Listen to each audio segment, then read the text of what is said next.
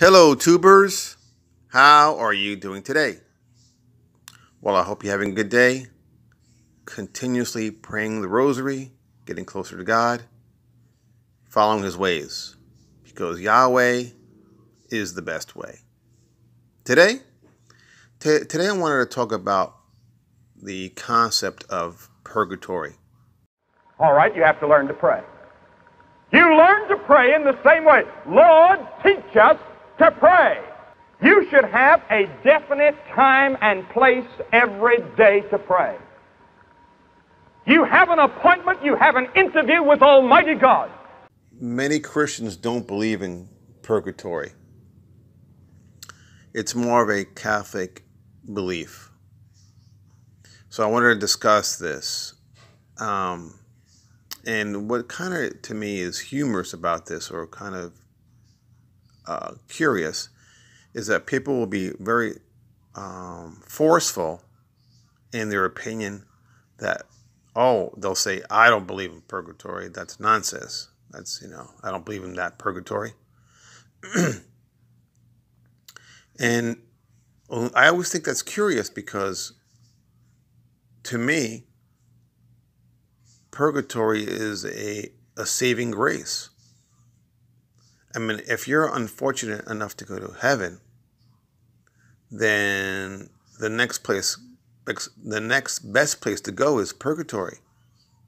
So then why would you want to cut out a place that will save you from hell?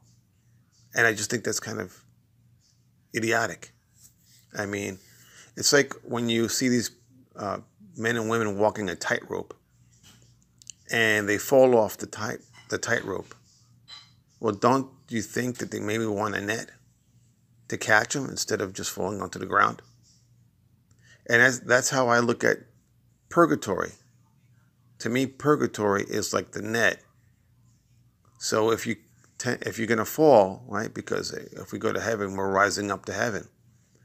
But the day of judgment, if you're not able to go into heaven, well, hopefully your fall will go into a net which is called purgatory. Because the last thing that you want to do is go to hell. So I welcome the idea or the concept of purgatory. Not that I want to go to purgatory. However, if I had the choice between going to hell or purgatory, I'm going to pick purgatory every time.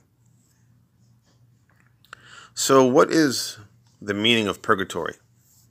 I went to a website called cambridge.org, and here is their definition the place to which Roman Catholics believe that the spirits of dead people go and suffer for the evil acts that they did while they were alive before they are able to go to heaven.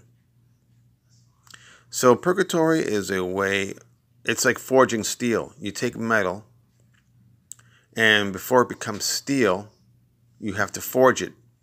And forging is basically a way of heating it up. And it kind of um, eliminates all the impurities out of the metal, and it, it becomes steel. And that's pretty much what purgatory is. See, when you are not able to go to heaven, it's because you're not pure enough to go to heaven. So what so what purgatory does is it forges you and you suffer in, in purgatory. Just like how that metal is suffering in a way that is changing through the heat and you suffer in purgatory. It's almost pretty much uh, like hell. The only thing is that it's it's temporary as opposed to permanent. So purgatory is not a place where you want to go to. However, it's a lot better than hell. Um, and so, so going back to the point where, where people say Christians say that I don't believe in purgatory, because then they'll say, well, it's not in the Bible, so I don't believe it. And they are true. That is true. However, I, as a person who recite the Rosary Prayer and believe in the Rosary Prayer, there are 15 promises that our Blessed Mother has given to us if we are devoted to the rosary prayer. Devoted meaning that you're praying it each and every day. And promise number nine says, I shall deliver from purgatory those who have been those who have been devoted to the rosary. Should one require purgatorial cleansing after death, Our Lady will make a special effort to obtain our release from purgatory through her intercession as advocate. So, even though purgatory is not mentioned in the Bible, it is specifically mentioned as a, as a promise to us, one of the 15 promises, number nine, in the Rosary Prayer. And since I believe in the Rosary Prayer, and it's mentioning specifically purgatory, and Our Lady is going to be a, an advocate for our release from purgatory, from purgatory, I then believe in purgatory. And uh, that's how I feel about it. So um, you may think that's incorrect. However, that's kind of how I look at it. Well, that's the video for today.